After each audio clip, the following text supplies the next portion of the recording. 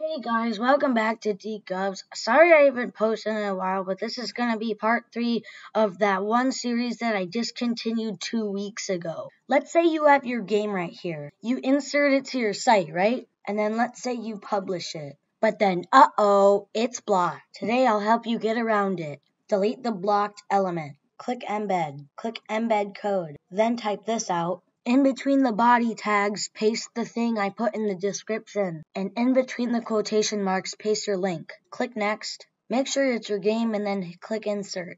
Then resize it how you want. And from my research, you should be good. If it's still blocked, here's another trick that you can do. Open up Notepad, click on your embedded game and click the pencil. Copy all the code and paste it into your notepad.